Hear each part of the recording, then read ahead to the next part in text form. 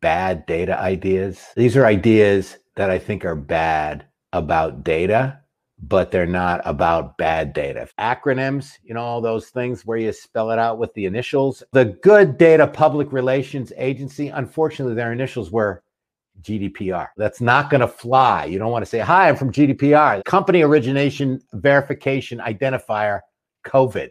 That's no, not no, not on that. That's not a good data idea. You got to have identification in the Internet of Things, but when you spell that out, it spells out idiot. Not going to work. So, not going to work. Bad data ideas